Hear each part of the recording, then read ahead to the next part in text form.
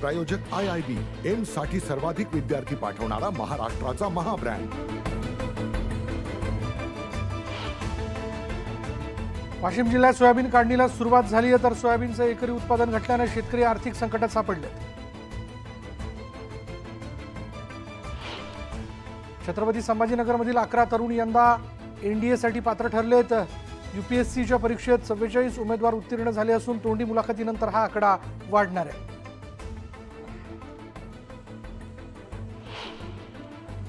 चंद्रपुरात कचरा संकलन करणारे पालिकेचे कंत्राटी कर्मचारी चार दिवस संपावर गेले त्यामुळे कचरा संकलन ठप्प झालं असून सर्वत्र कचऱ्यांचं साम्राज्य पसरलंय. अकोल्यात सोयाबीन पिकावर येलो मोझेक रोगाचा प्रादुर्भाव झाला त्यामुळे पीक उद्ध्वस्त होण्याच्या मार्गावर असल्यानं शेतकरी अडचणीत आलेत. धाराशिवमध्ये पावसाने वक्रदृष्टी दाखवल्यानं त्याचा थेट फटका. सोयाबीनला बसतोय. गेल्या चार वर्षापासून सोयाबीनचा भाव पाच हजारांच्या पुढे जाऊ न शकल्यानं सोयाबीन उत्पादक शेतकरी आर्थिक संकटात आहेत. कल्याण शहरात सकाळी दाट धुक्याची चादर पसरल्याचं पाहायला मिळालं. संपूर्ण शहर जणू धुक्यात हरवून गेलं होतं. नागपूर महापालिकेच्या उद्यान विभागाचा अजब कारभार उघडकीस आलाय. शहरातील झाडं कापण्यासाठी एका झोनला साडेसात ते पंधरा लाखांचं कंत्राट देण्यात आलंय.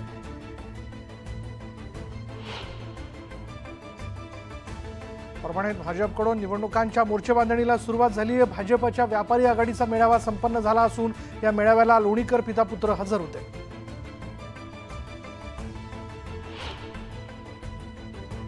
बुलढाणा जिल्ह्यात डेंग्यूनं थैमान घातलंय. देऊळगाव राजा तालुक्यातील गिरोली बुरगुज बुजुर्ग इथल्या दोन लहान मुलांचा डेंग्यूमुळे मृत्यू झाला.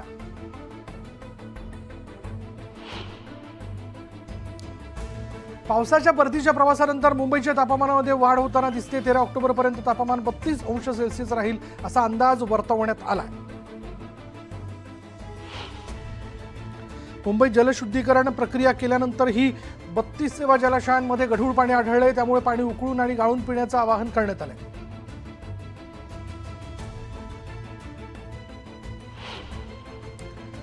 राज्यात लवकरच ती- तीन हजार पाचशे मेगावॅट वीज निर्मिती सुरू होणार असल्याचा दावा महावितरणने केलाय सौर कृषी वाहिनी योजनेसाठी. अल्पावधीत सार्वजनिक जमीनही उपलब्ध करण्यात आली आहे.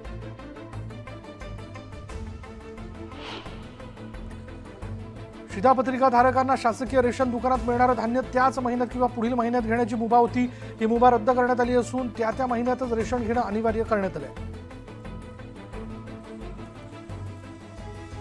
करवीर निवासिनी अंबाबाई देवीचा नवरात्र उत्सव मोठ्या भक्तिभावाने साजरा होत असतो आणि या पार्श्वभूमीवर अंबाबाई मंदिर परिसरात स्वच्छता मोहीम राबवली जाते. मुक्ताईनगर शहरासह तालुक्यात डासांच्या उपद्रवामुळे डेंग्यू मलेरिया टायफॉइड यासारख्या आजारांच्या रुग्णांची संख्या वाढली मात्र अद्याप ग्रामीण भागात धुरळणी करण्यात न आल्यानं नागरिकांनी नाराजी व्यक्त केली आहे.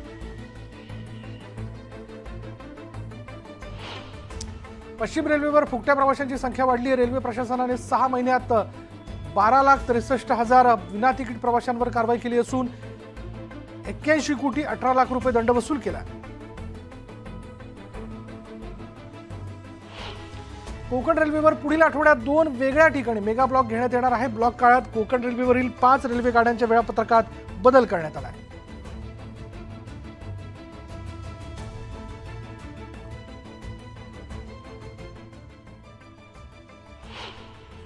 ना त्यावर. त्याच्या तुमच्या कामकाजावर त्याचं काही हे बघा सुप्रीम कोर्टाने पण हे मान्य केलं आहे की संविधानिक शिस्त ही पाळली जाणारच आणि जा- पाळली पाळायलाच पाहिजे. आपल्या संविधानाप्रमाणे आपलं लेजिस्लेचर म्हणजेच विधिमंडळ न्यायमंडळ म्हणजे ज्युडिशरी आणि एक्झिक्युटिव्ह म्हणजे कार्यकारी मंडळ या तिन्ही समान आहेत. कोणावरचंही कोणावरती सुप्रिटेंडंट नाही आहे आणि त्यामुळे तिन्ही आपल्या कार्यक्षेत्रात राहून काम करत असतात. सुप्रीम कोर्ट आपल्यासमोर असणाऱ्या याचिकांवरती निर्णय घेईल. जर का एखादा निर्णय निर्णय जर नियमबाह्य असेल अथवा घटनाबाह्य असेल तर सुप्रीम कोर्ट हस्तक्षेप करू शकतं. परंतु तसं काय नसेल तर सुप्रीम कोर्ट इतर संस्थांच्या कामकाजात कुठच्याही प्रकारचा हस्तक्षेप करणार नाही. हेच संविधानिक शिस्त जी आहे त्याला अनुसरण आहे. तुमच्याकडे जे सोळा आमदारांच्या अपात्रतेचा विषय आहे त्यावर वेगवेगळी स्टेटमेंट केली जातात. कुठेतरी दबाव आहे या सगळ्याच्या मी यापूर्वीही सांगितलेलं आहे की सभागृहाच्या बाहेर केलेल्या आरोपांवरती मी काय लक्ष देत नाही आणि जी लोक अशा प्रकारचे आरोप करत आहेत आणि तो आरोप केवळ या निर्णय प्रक्रियेवरती दबाव टाकण्यासाठी केला जात आहे त्यावरनं मी काय प्रभावित होत नाही आणि माझ्या निर्णय प्रक्रियेत त्याचा कुठचाही फरक पडणार नाहीये त्या या सगळ्या आरोपांचा. आणि अशा लोकांकडनं आरोप होत आहेत ज्यांना संविधानाचं ज्ञान नाहीये ज्यांना disqualification of members on the ground of defection rules nineteen eighty six यांची माहिती नाहीये. त्यामुळे अशा आरोपांकडे लक्ष देण्यात आपला वेळ घालवण्यात काहीच अर्थ नाही.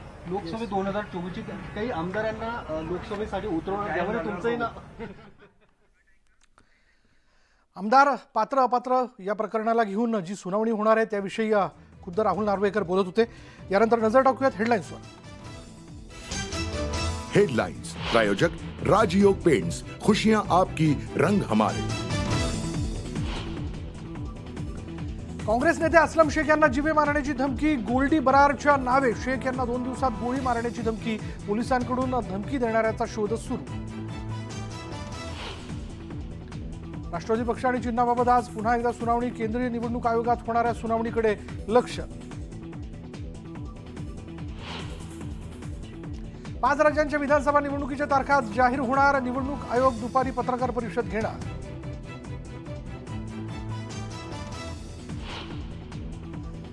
मनसे पदाधिकाऱ्यांची शिवतीर्थवर बैठक. आगामी निवडणुकांसंदर्भात रणनीतीवर चर्चा.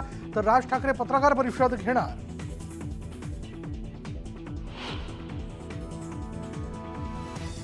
बॉलिवूड अभिनेता शाहरुख खानच्या सुरक्षेत वाढ. सतत मिळणाऱ्या धमक्यांमुळे शाहरुखला वाय प्लस सुरक्षा मन्नत बाहेर चोवीस तास पोलिसांचा पहारा.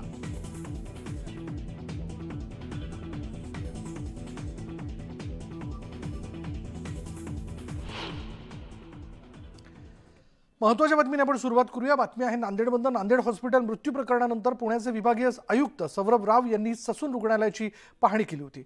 पाहणी करत अहवाल सादर करण्याचे आदेश दिले दिले होते आणि त्यानुसार ससून रुग्णालयाने विभागीय आयुक्तांमार्फत पालिकेला सविस्तर अहवाल सादर केला. या अहवालात रुग्णालयात पाचशेहून अधिक पदं रिक्त असल्याचं नमूद करण्यात आलं मात्र या अहवालात ड्रग्ज प्रकरणातील आरोपी ललित पाटील यांच्यावरील उपचारांसंबंधी कोणताही उल्लेख नाही आहे कैदी पलायन प्रकरणी चौकशीसाठी त्रिसदस्यीय समिती स्थापन करण्यात आली आहे आणि त्यामुळे या समितीचा अहवाल कधी येणार असा सवाल उपस्थित होतोय.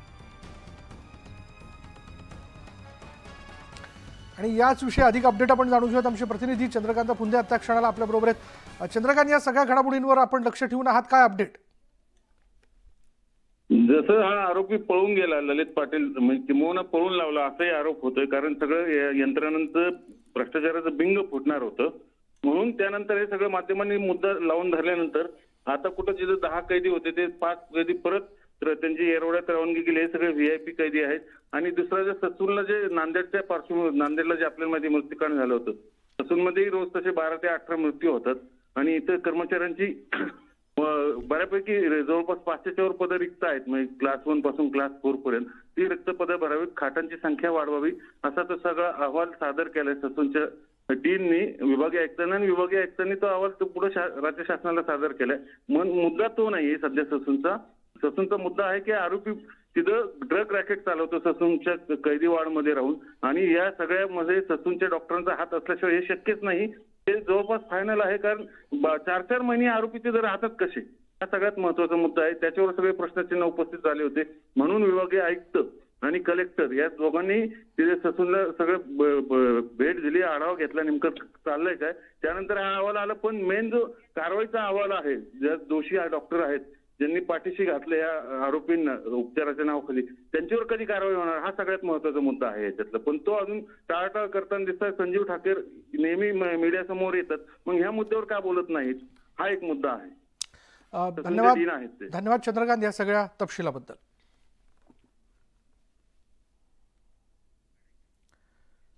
पुढे पुढे पुण्यातनंच आणखीन एक या संदर्भातली घडामोड अशी आहे की पुण्यातल्या ससून रुग्णालयातील पाच व्ही आय पी कैद्यांची येरवडा कारागृहात रवानगी करण्यात आली आहे. यात बँक घोटाळ्यातील आरोपी अनिल भोसले ईडी घोटाळ्यातील रोजरी शिक्षण संस्थेचा संस्थाचालक विरल सावला हेमंत पाटीलचं पाच आरोपींचा समावेश आहे. ससून रुग्णालयात उपचाराच्या नावाखाली हे आरोपी ऐशो आराम करत असल्याचं बोललं जातं आणि याबाबत न्यूज एटीन लोकमतने यादी जाहीर करताच या कैद्यांची येरवडा कारागृहात पुन्हा रवानगी करण्यात आली आहे.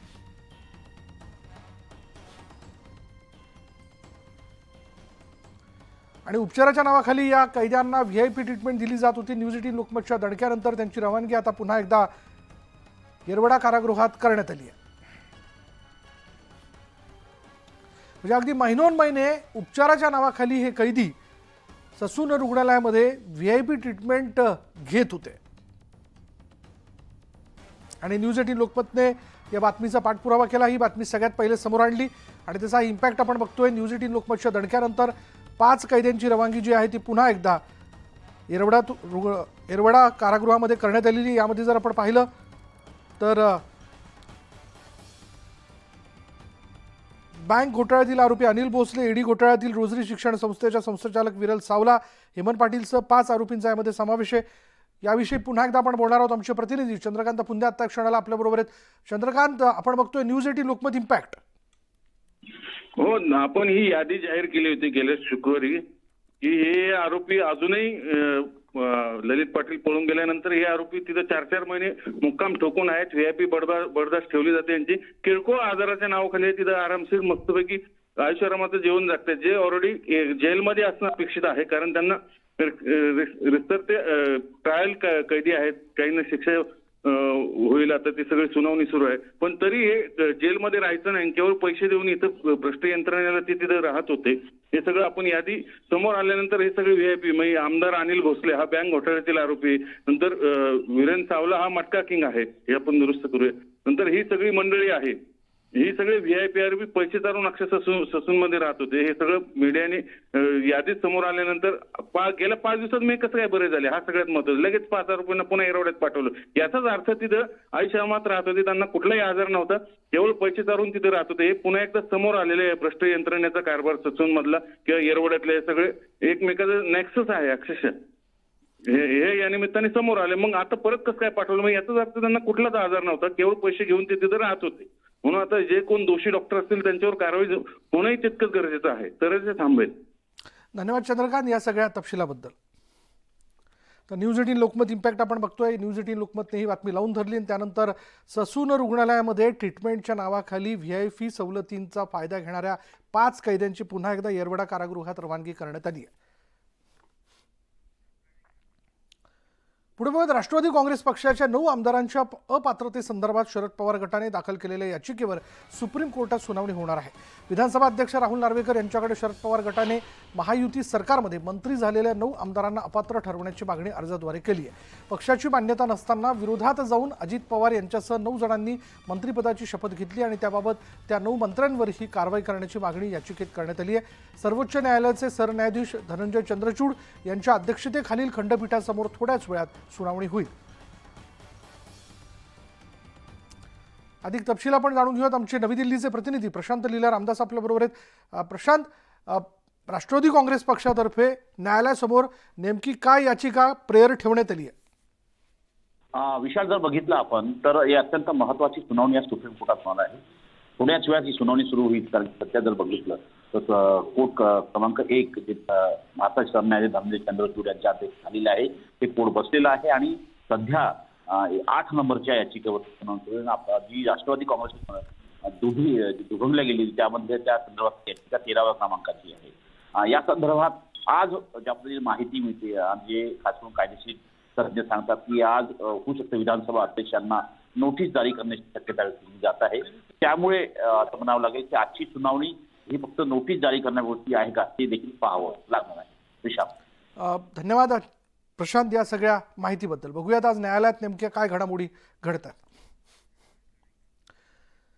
पुढली बातमी राष्ट्रवादी काँग्रेसमधील कथित फुटी संदर्भात आज दोन सुनावण्या होत आहेत.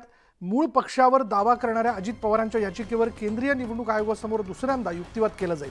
तर पक्षाच्या नऊ आमदारांच्या अपात्रतेसंदर्भात शरद पवार गटाने दाखल केलेल्या याचिकेवर सुप्रीम कोर्टात सुनावणी होणार आहे. विधानसभा अध्यक्ष राहुल नार्वेकर यांच्याकडे शरद पवार गटाने महायुती सरकारमध्ये मंत्री झालेल्या नऊ आमदारांना अपात्र ठरवण्याची मागणी अर्जाद्वारे केली आणि या प्रकरणी पवार गटाने सर्वोच्च न्यायालयामध्ये देखील धाव घेतली असून न्यायालयाने विधानसभा अध्यक्षांना निर्देश द्यावेत. अशी मागणी केली आहे. तर केंद्रीय निवडणूक आयोगासमोर आज होणाऱ्या सुनावणीमध्ये प्रामुख्याने अजित पवार गटाच्या वतीने युक्तिवाद केला जाणार असून विधिमंडळ पक्षामधील बहुमत गृहीत धरून मूळ पक्षावर हक्क सांगितला जाण्याची शक्यता आहे.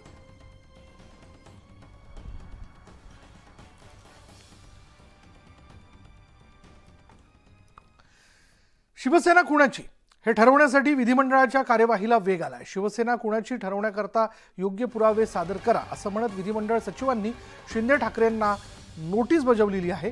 दोन्ही गटांना आपलं वर्चस्व सिद्ध करण्याची संधी आणि गेल्या आठवड्यात मंगळवारी नोटीस बजावली होती.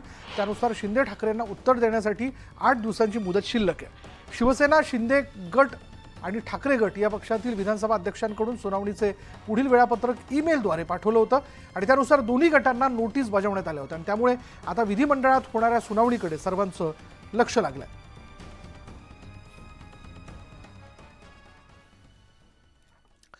पुढली बातमी अशी आहे की मध्य प्रदेश छत्तीसगड राजस्थान मिझोरम आणि तेलंगणाची विधानसभा त्याच्या निवडणुकीचा बिगुल वाजलंय. आज या पाच राज्यांमधील निवडणुकांच्या तारखा जाहीर होण्याची शक्यता आहे जाहीर होणार आहेत निवडणूक आयोग दुपारी बारा वाजता पत्रकार परिषद घेईल आणि जरी ही विधानसभा निवडणूक असली तरी आगामी दोन हजार चोवीसच्या लोकसभा निवडणुकीची ही सेमी फायनलच म्हणावी लागेल.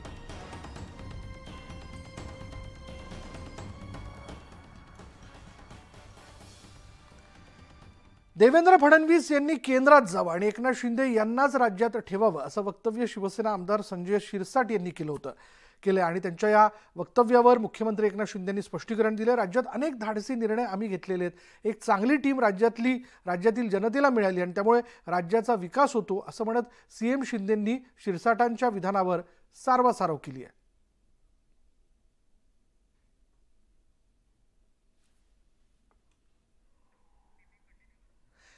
पुढे पोह्यात मराठा समाजाला आरक्षण मिळेपर्यंत लढा सुरूच ठेवण्याचा निर्धार मनोज जरांगे पाटील यांनी केलेला आहे. आणि त्यासाठी त्यांचा राज्यभर दौरा सुरू असून येवल्यात आज त्यांची जाहीर सभा होणार आहे. यावेळी ते मराठा बांधवांशी संवाद साधतील. दरम्यान जरांगे यांनी छगन भुजबळ यांच्यावर निशाणा साधलाय. भुजबळ यांना मराठ्यांनी मदत केली.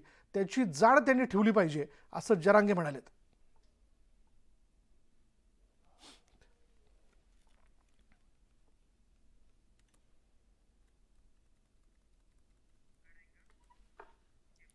पुढे पुण्यात उपचारासाठी आलेल्या तरुणीसोबत गैरवर्तन करण्यात आलेलं आहे. जे जे रुग्णालयातला हा धक्का धक्कादायक प्रकार आहे. सफाई कर्मचाऱ्याकडून तरुणीसोबत गैरवर्तन करण्यात आलं आणि आता आरोपी विरोधात गुन्हा दाखल करण्यात आला आहे. हा सगळा प्रकार जो आहे तो जे जे हॉस्पिटलमध्ये घडलेला आहे. रुग्ण तरुणी ही उपचाराकरता तिथं आलेली होती आणि तिच्यासोबत तिथल्या सफाई कर्मचाऱ्यानेच गैरवर्तन केलेलं आहे.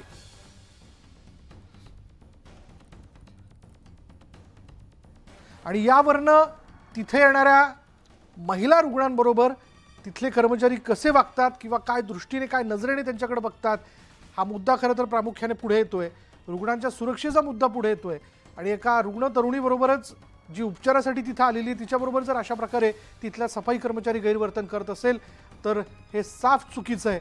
आणि याविषयी कारवाई काय होते बघणं फार महत्त्वाचं ठरेल. पण धक्कादायक असा सगळा प्रकार आहे. जे जे रुग्णालयामध्ये हा सगळा प्रकार घडलेला आहे